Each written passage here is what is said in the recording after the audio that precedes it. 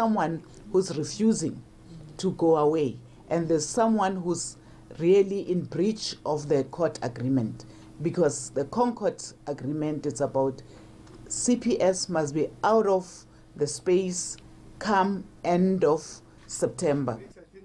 The Social Development Minister is hitting back at efforts to sign up beneficiaries for EasyPay and SASSA Grindrod cards. EasyPay is a Net1 product. It also owns Cash Paymaster Services, or CPS. Might be new uh, tendencies in trying to cause confusion, but also in trying to claw back as we're supposed to move forward because the issues that where does this come from? The easy pay, uh, what do you call it? Easy pay, easy way. We know where it comes from. Uh, the issue of the green card, we know where it comes from. So if they continue to make sure that that card is being issued uh, or lure our members to get that card, we know where it comes from. So we have a responsibility in protecting our beneficiaries. Shabangu's also mopping up misinformation about cash pay points.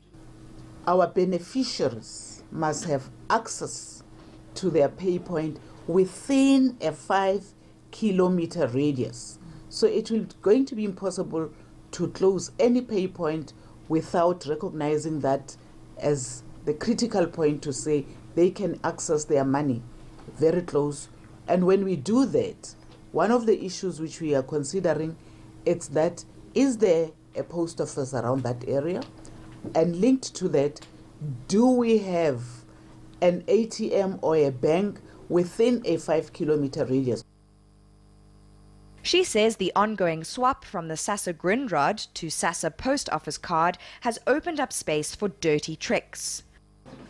Dr. Zweli Mkhize, the Minister of Cooperative Governance and Traditional Affairs, is aware of the risks. Uh, there's a lot of possible scams if people are not properly informed.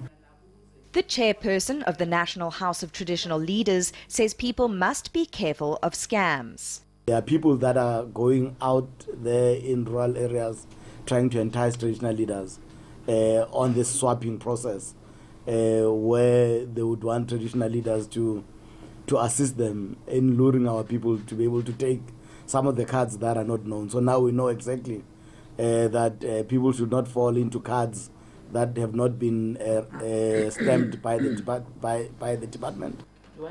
The new SASSA post office card features the national coat of arms in the top right hand corner. Logos for SASSA and Visa appear in the top left and bottom right corners, respectively. The new card, which is operated by Postbank, also features a microchip and raised numbers. Shabangu is hopeful the 20 or so traditional leaders she met with on Monday will help with a public information campaign. She says churches will also be joining the effort to separate the facts from fiction. For clarity, beneficiaries can call SASSA on 0800 60 10 11 or visit their nearest SASSA office or go to www.sassa.gov.za. Erin Bates, Pretoria.